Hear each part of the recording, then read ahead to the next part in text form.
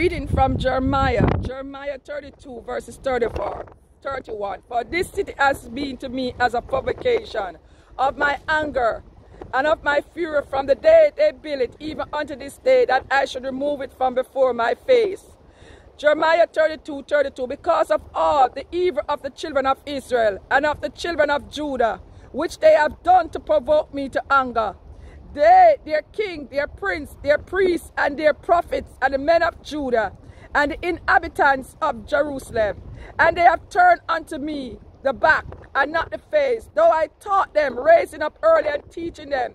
Yet they have not hearkened to receive instruction, but they set their abomination in the house, which is called by my name, to defile it, and they build high place of Baal, which are in the valley of, of the son of Hinnom, to cause their son and their daughter to pass through the fire of Molech, which I command them not, neither came it into my mind that they should do this abomination to cause Judah to sin. Repent!